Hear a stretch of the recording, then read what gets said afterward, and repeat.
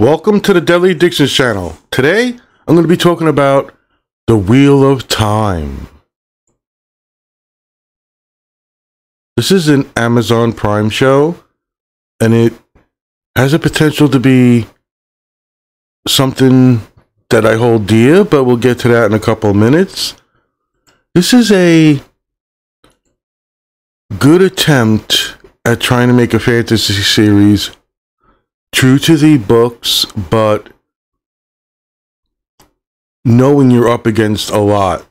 So I want to talk about the general love of the series first as a novel, a series of novels, and then I'll get into the show. But I'll say episodes one, two, and three, I really liked. I'm excited for the show. But in general, there's a love I have for the Wheel of Time series. It's up there as one of my favorites.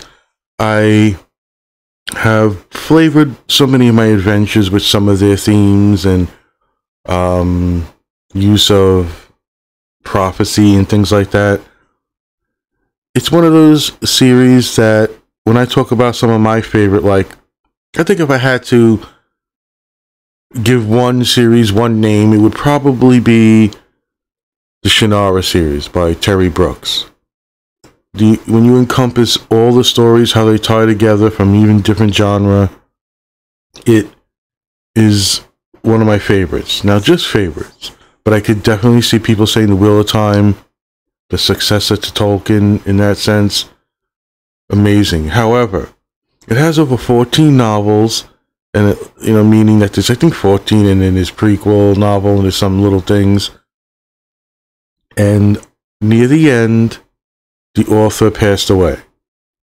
And he had a, I guess, protege, sort of uh, a person who worked with him on a lot of the books, and he took over the series. So it doesn't have the ending that I wanted, or doesn't feel the same. I don't think it degrades the series in the novels to say that it's so good and then it gets so bad. And no, it's just that you can feel something changed and you feel um, it resonate in the book. But it's damn good. He tries and these things happen. So getting that out of the way, when I heard about this series, I put it out of my head immediately because of the Shannara series. Um, I was excited about Terry Brooks and the, uh, was it MTV taking Shannara, and they decided to go with book two. They obviously didn't put production money into it. There was some good actors and some good um, themes in it, but it just looked cheap and never really captured my imagination of the books. So, a quick thing is um, Allanon in uh, the Shannara series, and he's played by somebody and good actor, and he, uh, I think he played Crixus too, um, in Spartacus. Uh, but I didn't like the portrayal. I didn't like his look or attitude as Allanon, and it just didn't resonate well with me. Although I saw things that people would like about it, and people have liked about it. So I was worried about the Wheel of Time avoided most stuff. And then an official trailer came out. Watched it with a friend. and I had to really push down the excitement. And there's so much to see in the trailer, but they sometimes put the best things in it. They could kind of lead you astray from what it's really about, you know, that type of thing. And sometimes it's done well. So, as the day's coming where I'm going to watch it, you know, I've been through some things recently and I really tried to go in with an open mind. And I gotta say, right off the bat, first episode catches me. I'm happy that they might be doing something Lord of the Rings did as movies. Um, by the way, they're my favorites. I love them. They could be giving people different dialogue, maybe putting a new twist on a situation to make it fit television or in Lord of the Rings case the movies but still have it tell that cohesive story. So there was a couple of things that I got kind of confused or I was not sure happened in the books type thing, or if someone was the person saying it. But besides that, I loved it. There's not much to say about like who you know is an actor, but Rosamund Pike as Moiraine is outstanding. Daniel Henney as Lan, really like it. And I won't go through naming, well, I don't know, Madeline Madsen, Joshua Stradowski, Marcus Rutherford, Barney Harris. There's um, a quiet presence within these actors that to me could reveal potential greatness and that could just be the books and my bias right? So i see the um path of these characters. Now they could change things right? Game of thrones did it. Here and there i'll do things a little different. Walking dead. You know not tra- stay true to the source material so much. But I could see the potential characters and I know what they are in book five and seven. And so, but I don't know if that's bias or that these are really good actors playing real naive people. And when you see the growth of the characters, we'll see. Um, there's a real feel to things the special effects looked really good. You're trying to do some um, interesting things to capture the books. And I think they did a great job. There are nitpicks here and there. There are some things that look a little better than others. I really think there's a potential here. And when you look at the way the books go, I would just assume this would be season. So Shannara destroyed that. They really fucked everything up in that case. This looks like you're on the right foot. You started off great, in my opinion. You've got me captivated.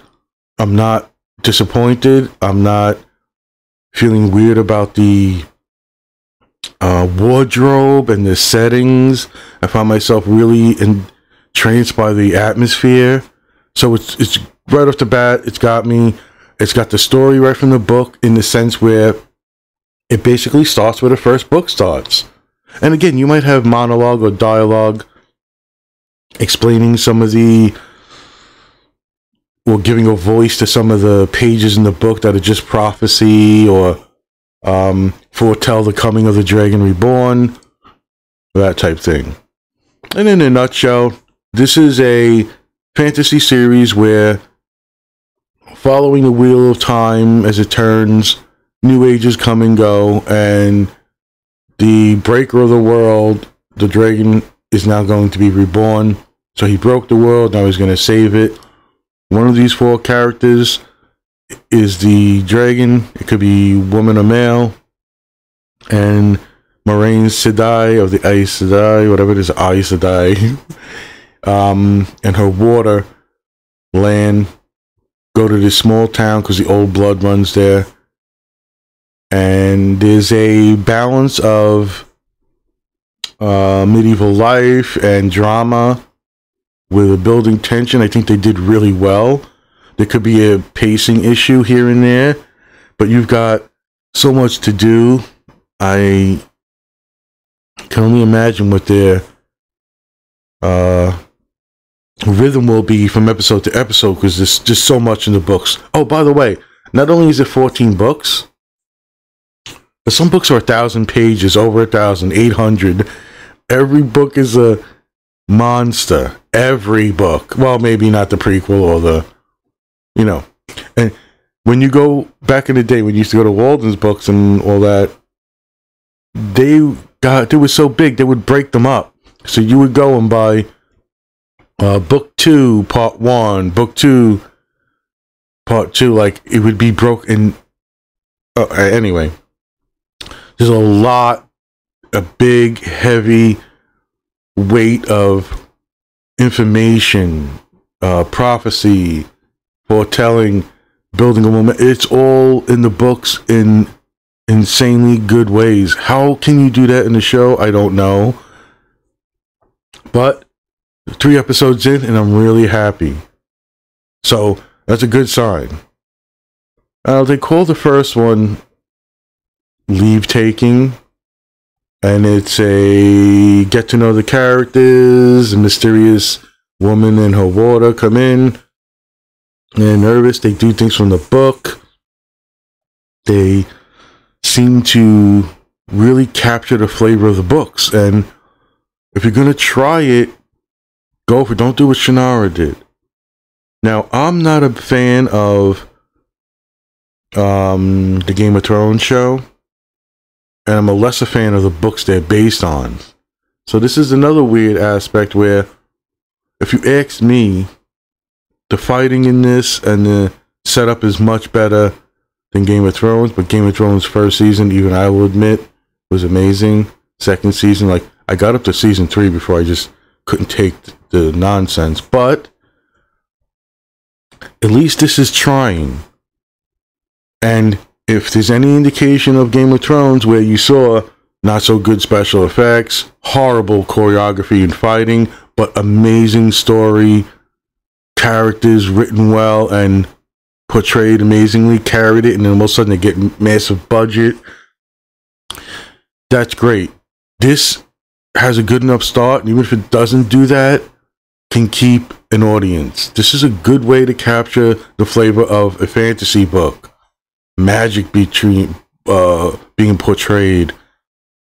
Um, blade masters, a high level skill. You find out what a Warder is and the terminology they use in the book. It's coming out in the show pretty good, and it's such a burden. It's so such a hard job when you know the books. These books are very very um, heavy on the language, on the um, premises set up, the descriptions, the pacing, the um, the grasp of battles and strategy, methods and motivations. There's so much to do in a novel that you gotta hope your actors and stuff can capture that because there's a lot you gotta skip. There's a lot you gotta convey in just emotions and looking and thoughts. And this show is capturing it for me right off the bat.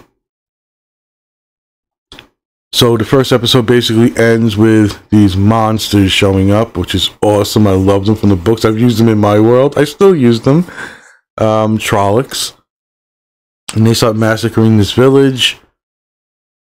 Um, oh, Moiraine, Aes Sedai, Lan saved them. And they make a point to show that these people will fight and they will die. And Moiraine later tells a story about where, where the two rivers is uh, from, that type of thing. However, this builds up the tension. It's so good. Yes, there's an element of drama and relationships, but it works for me here. It, it not done overboard. The actors are good enough. You feel like there's a very good quality of getting actors you don't know who are very good, promising. You know, maybe you're just looking at their headshots or whatever. But to see it come together, some chemistry and the awkwardness of being in the positions they are in in their village and what's expected of them is just a really good foundation being built here and it ends with some festival and the Trollocs come and Moiraine has to take the four people she believes are potential dragons reborn or a dragon reborn. One of them, she's sure one of them is, but there's no indi- you know, you don't know yet. And they got to flee the village. Now, one of the things you hear about with the Shannara series is they didn't want to do book one because it was too much like Lord of the Ring. That was a big fucking mistake. There are reasons why people pay homages and why little things like this might feel like the hobbits fleeing their village and you know leaving their home. It's because it works and it's done well. It it's just a nice thing to see. And in the Shannara series, they want to jump, drop you into book two, combine things, make three books, one half. It's just got silly, in my opinion. This really, really good. For me, looking at it, I could see season one being book one. And there's a, what is it, going to be eight? All right, so each season is eight episodes. That seems good for me. I would probably want more. Uh, I could see something like this going 8, 8, 12, 12. Like, you can see it gaining because even though the first books are big and they're thick and there's lots to read, when you get to the next series of books that come, it gets more expansive and more. Um, things are put in way better than Song of Ice and Fire, in my opinion. But hey, it's not a contest in that way. But just what just enjoyable, not an objective good or bad. I'm really happy. Ended the first episode. You get to the second episode. I think they're calling Shadows Waiting and they show these I don't know how what we're gonna call them in a sense, but they're, they're called white cloaks, and they hunt Aes Sedai and they burn them alive, type thing, and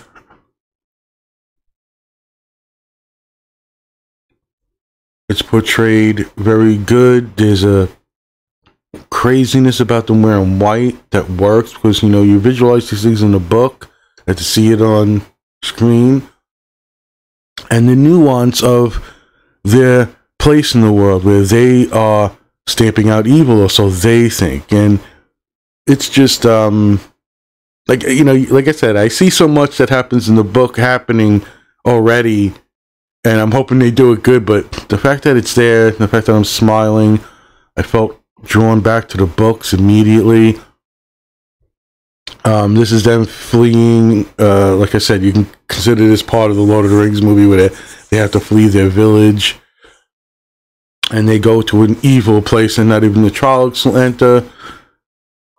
Again, the book. You might have different things. You might have different people in different situations in the book. There might be uh, dialogue said by someone else that didn't say this, that they didn't fit in, they didn't do this whatever they're doing, it's working. Just like the Lord of the Rings. Like I didn't care if Elrond's daughter said this when it was said by someone else, and they put things to make it. Uh, she comes and she saves him. It's not Legolas. Like it works. Do it well.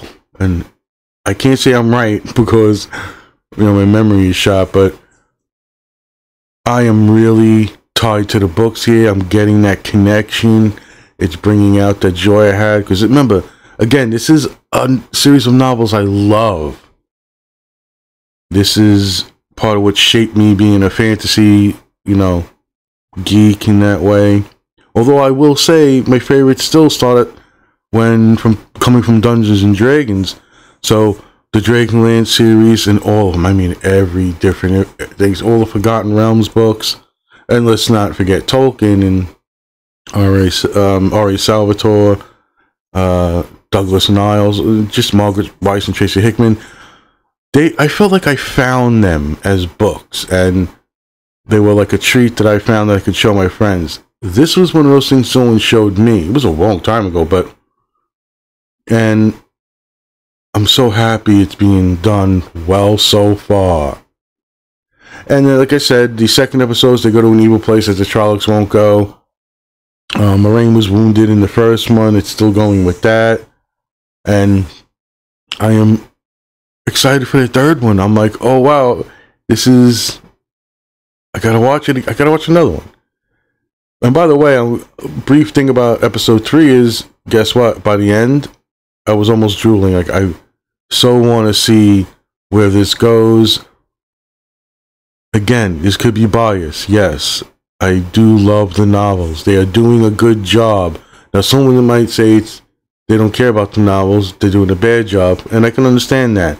Maybe I'm not missing something because I'm just such a fanboy. This is amazing to me. Although when you know to get the actor to play Lan, which I love, um, they refer to him as like the big man, and he's like he doesn't look so big, but you know, dialogue from the book, whatever. And there's a little reveal. I love if you notice, I'm not talking about major plot reveals and things. I don't like to do that unless uh, there's some kind of conversation. I'm doing a deeper dive, but there's a thing revealed at the end of the second one that someone you thought was dead isn't type thing, and there's a real power given to a certain character that you love to see, and it's in the books. Holy shit, do I love what they did with certain characters? They stand out. Great act. And by the way, they stand out in a way where, like I said before, to me they seem like new actors and there's this awkwardness to them in the way they interact, but it seems like that's what they would be as 17 year olds in real life in a medieval village. Like it feels real. However, you can see the underlying talent or ability there that's going to blossom. And it shows who one character immediately because in the books, she is the um, first one you realize doesn't fuck around. And I don't mean Moiraine or uh, Lan or some of the little things you see about the Aes Sedai hunting Dragon Reborns and men, men who can channel. And I'll get to that when I finish in my wrap up about the tone and the political type thing. But we're in the third episode. They've escaped this evil place. They're separated. I get to meet Thom Merrilin. Holy shit. This is a great actor playing a great role, and I was fucking so happy. They're showing a Gleeman, a fucking bard from D&D, basically. I think it's uh, Alexandre Willaume. Uh, what a performance. They set it up. They frame it right, cinematography, and then he sings a song, and it's just everybody in the fucking place is like crazy. You know, just it's, it's, I don't want to give too much away. It's epic. He crosses through with the characters in a believable way that seems um, plausible, and then he actually gets to know one of the characters in a weird way, and it connects things that you don't know about because I read the books, and it's awesome. Holy shit! Thom Merrilin's one of my favorite great that they did him solid. By the way, I think everybody was done solid.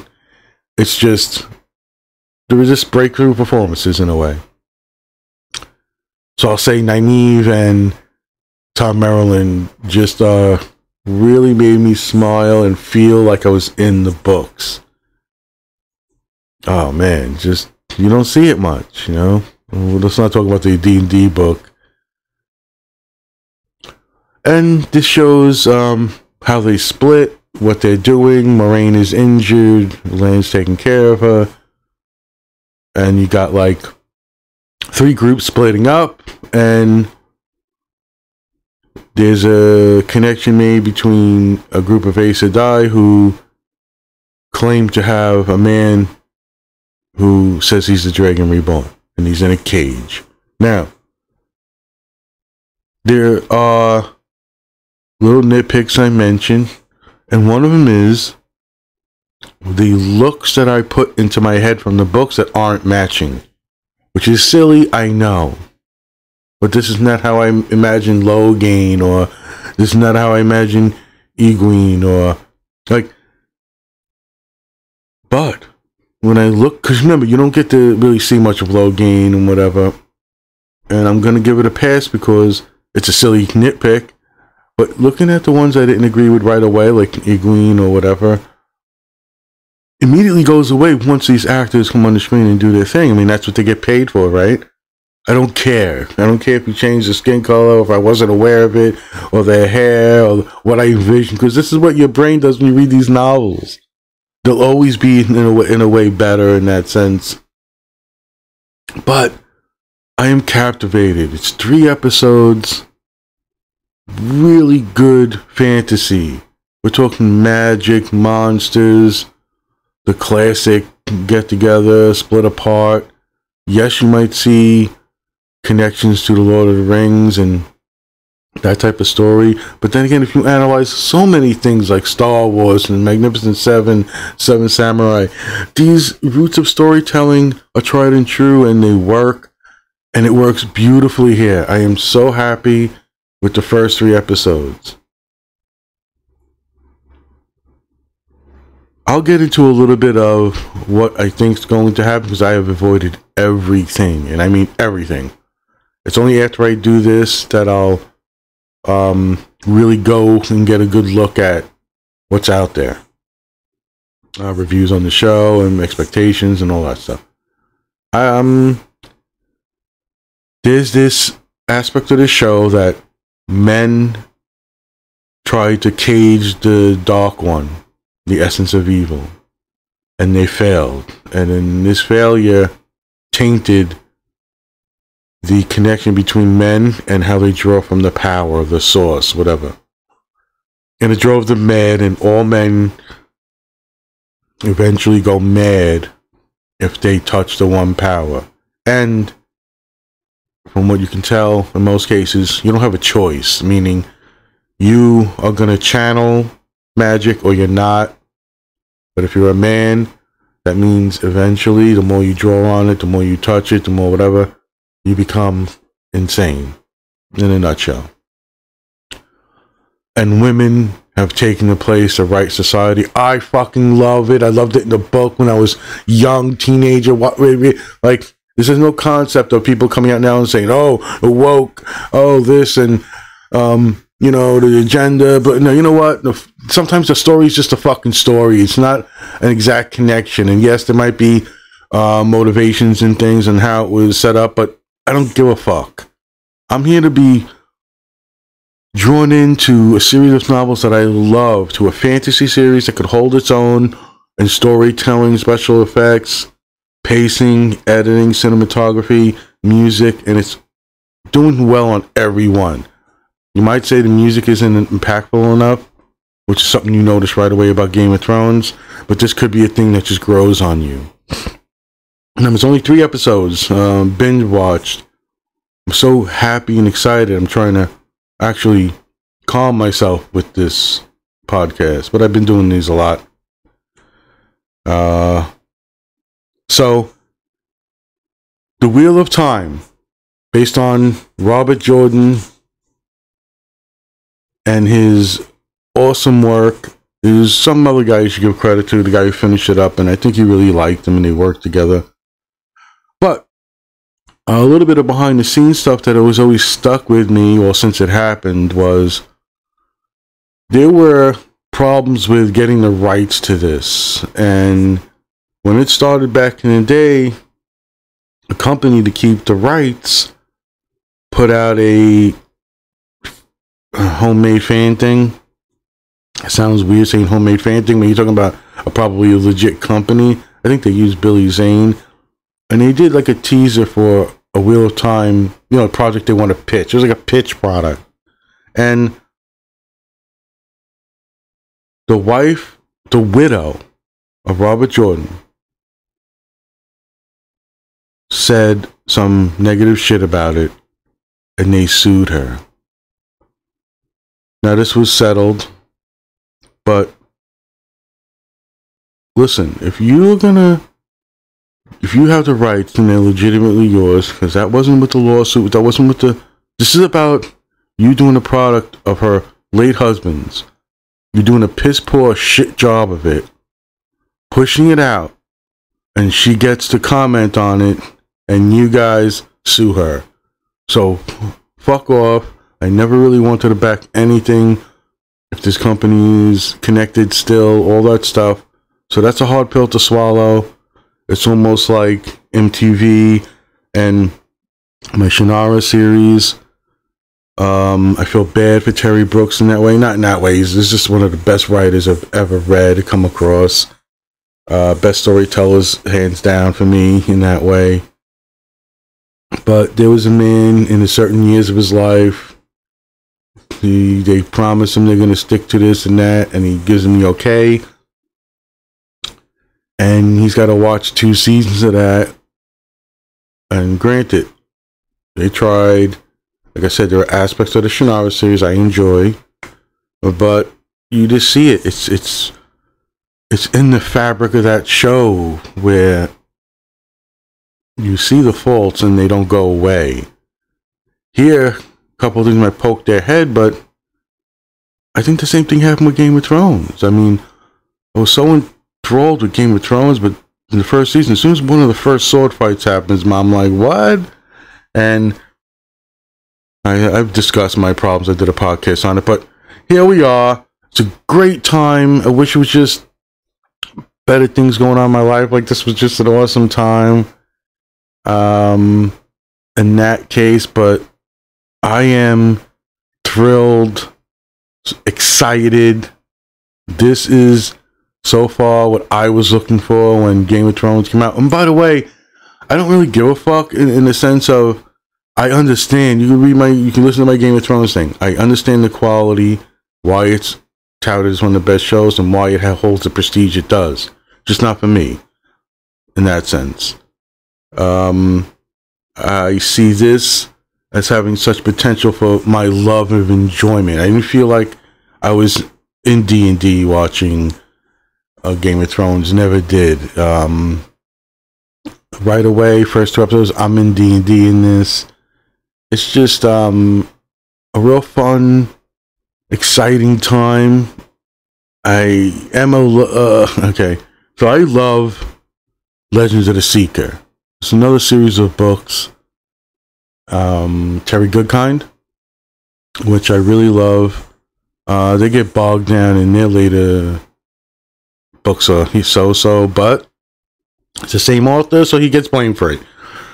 But I don't care if it's a little oh, Xena. I watch Xena, Hercules, eh, maybe not, but I'm a fan of those shows and accepted them for what they were. This could be the perfect blend of everything. It's not campy Xena and Hercules, no fucking way. But what I loved about the Legends of the Seeker is the boldness of using magic and themes and sort of like character kits from the game I play, and it just adds to my love and enjoyment. I recommend The Wheel of Time, the first three episodes. Go watch this. It is fantasy series done insanely well. It's only three episodes, but when I judge a series, I usually give it a three episode rule. Even if I went back right now and The Big Bang Theory, I would always watch the first three and then give my uh, assessment of is it again? Am I going to watch more? Am I going to be interested? On that basis, this passes everything. It doesn't have the most standout music. There's a little flaw here and there, but to me, it's a pilot episodes, and as you get wrapped up, everything goes away. I'll even say it's better than The Witcher, hands down. The Witcher made a big mistake on trying to tell a nonlinear storyline. I had a friend sitting in confusion for many episodes, and some of the glaring mistakes you make with CGI were pronounced in that. Still love The Witcher. I love the portrayals, the actors. Like, I'm excited for that. But if you want a comparison, this, in my opinion, is better. I see more potential in some of these characters and I don't know them rather than Henry Cavill and the character you know and The Witcher. This is the books being brought to life for me. And yes, this all end this in a sense with saying I'm recommend this, but I am biased. I do know that. It's one of my favorite series and Robert Jordan's book you can hold up and debate if they're better, whatever. There are so many people talking about how he took Tolkien's world and elevated it and evolved it. I can agree on that. That's how good these books are. That's how good these books are. But when you look at the language and the ease of storytelling, I go with Terry Brooks. So, in a nutshell, The Wheel of Time, three episodes are out. I am excited. I am so happy. I am not disappointed. Trying to be critical thinker here, unbiased, but I can't in the sense of I know I'm going to go back. I'm going to rewatch them. I'll notice the thing. And like I said, you got a big, big challenge here. huge, huge books. Call them bloated, whatever, but it's done so well. A, a mass of knowledge and history are in these books, and they've got to do this in dialogue, keep people going every week. They're doing a good job. Watch The Wheel of Time. Leave me a comment, like, do all that nonsense bullshit, and I hope to hear from you soon. I wish everybody the best. Take care.